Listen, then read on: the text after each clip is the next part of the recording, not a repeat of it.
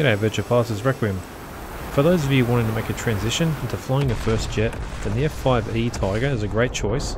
And uh, what I'm going to do in this video is first give you a general overview of it, and then we're going to go through the cockpit.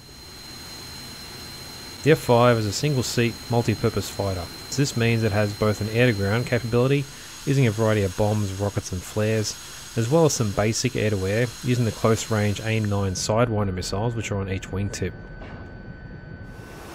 Additionally, there are two 20mm cannons in the nose that can be used in either role, and to detect airborne targets you have a radar on board with a range out to around 40 nautical miles, and this is coupled with a lead computing optical sight with a sight camera. For its power plant, there are two afterburning jet engines that let it fly supersonic, and to help provide these engines with extra air during the takeoff and low speed flight, there are auxiliary intake doors on each side of the fuselage. Engine anti-ice is available when you need it, this will cost you about 6 to 9% of your overall thrust and will end up burning an extra 100 pounds per hour of fuel. The fuselage itself is a Coke bottle shape with the wings, horizontal stabilizer and vertical stabilizer designed with sweepback to them. The wings also have leading edge and trailing edge flaps which are used throughout an entire flight and to reduce your workload with these flaps they can simply be left in an automatic position so it's always controlled by the airplane's central air data computer. The flight controls aren't fly-by-wire, but are hydraulically actuated and provide an artificial feel to the pilot with both rudder trim and aileron trim available. There's also an aileron limiter that is activated when the landing gear retracts, but this can be overcome with extra stick pressure to improve the roll rate. And to further improve the F5's handling in flight, there are both yaw and pitch dampers. Underneath the fuselage is the speed brake, and this extends to increase drag and slow you down. But if you're at high airspeeds or if you're using that centerline store, this will actually reduce the speed brake's maximum extension. Another feature to slow you down is a drag chute. So if you're landing on a short runway and you need to reduce your landing distance, this will be deployed from the back of the airplane.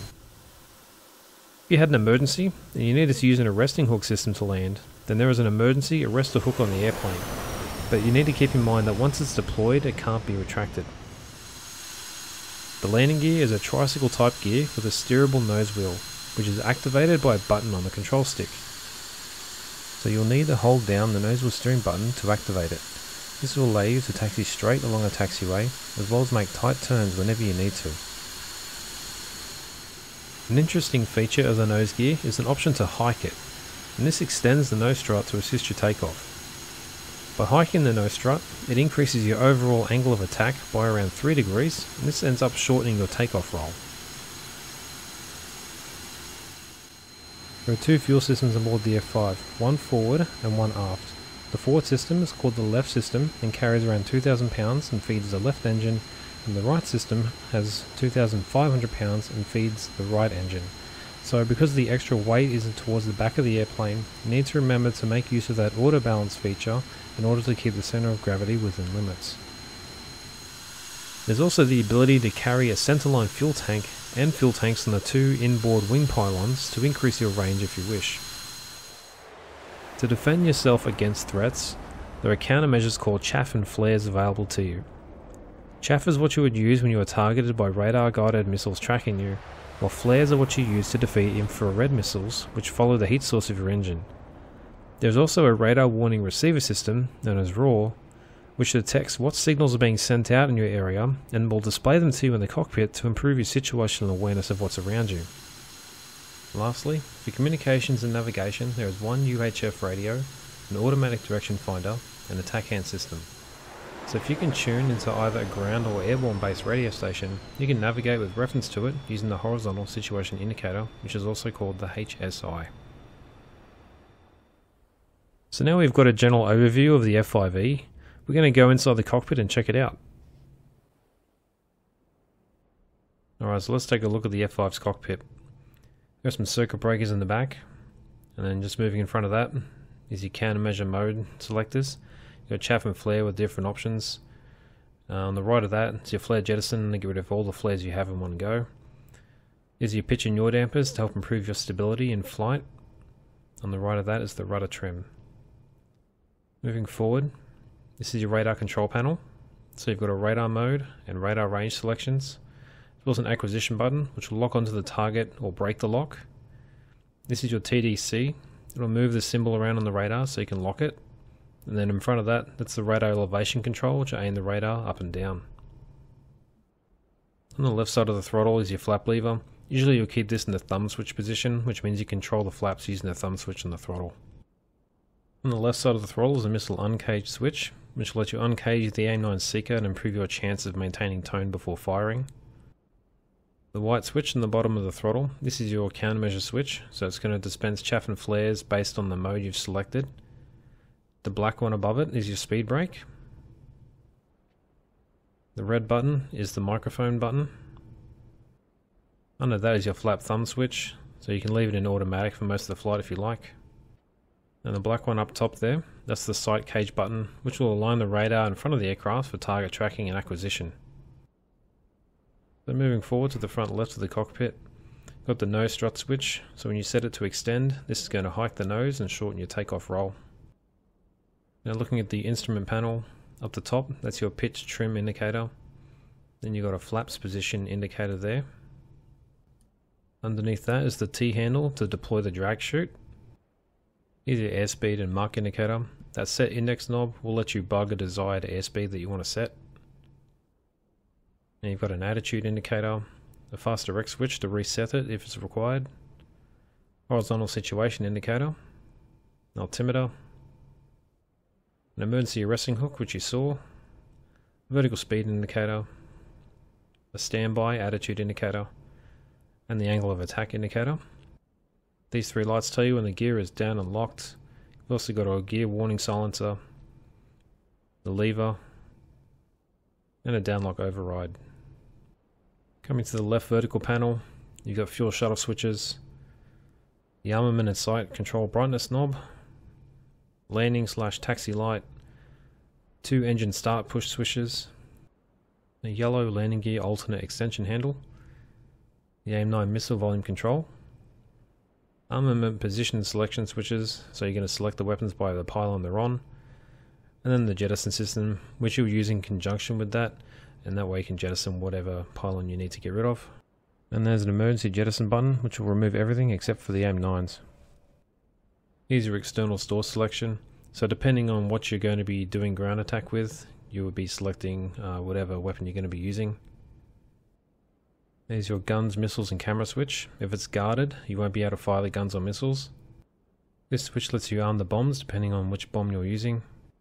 And this switch controls the weapon release interval. Up the top here is the angle of attack indexer. We're going to talk about this a bit more with the landing video. It's a slip and skid indicator. And then for the sight control panel, there's several different sight modes to choose from, um, depending on what you're going to be attacking. Here you control the brightness of the reticule, as well as how many mils you depress it when using it for ground attack.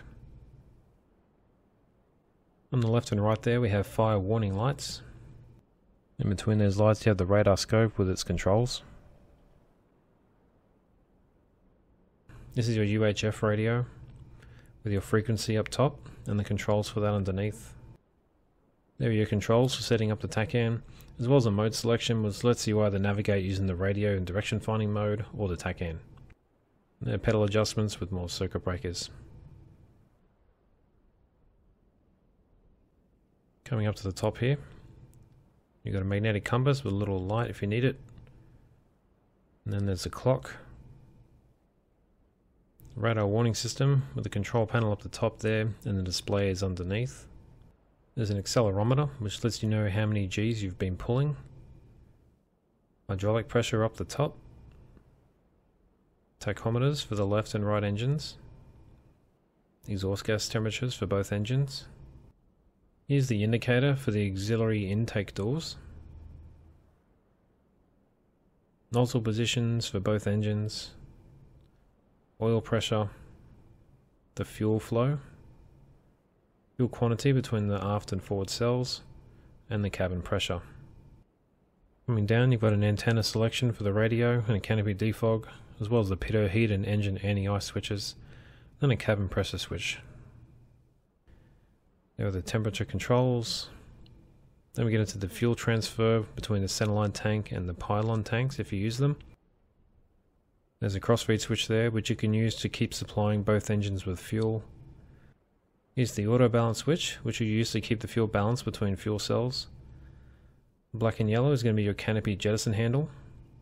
then we got the battery switch along with the two generators. And then on the right of that is the oxygen quantity. On the oxygen regulator, there's a flow indicator, which will flow white when oxygen is flowing, depending on the setting. There's an oxygen pressure gauge, and this red lever is the emergency lever. This is how the oxygen is sent to the mask. On the right of that is a diluter lever, and then a supply lever, which you need to turn the oxygen flow on and off. Under the regulator is your caution light panel, which is going to display caution messages, and then under that is your IFF SIF control panel. Here's a compass switch. The normal setting you're going to use is going to be mag. There's the lighting panel for interior and exterior lighting, and then a fuel and oxygen switch which is used to test the gauges are working properly. And lastly, that's where the map case is. That'll complete this video for the general overview of the uh, F5. The next video is going to cover some uh, other aspects like the startups, taxi and takeoff procedure, um, if you want to be notified of those, be sure to become a subscriber. And if you want the early access to those when those are available, then you, know, you can join my Patreon to do that. Till next time though, remember to fly safe and check your six.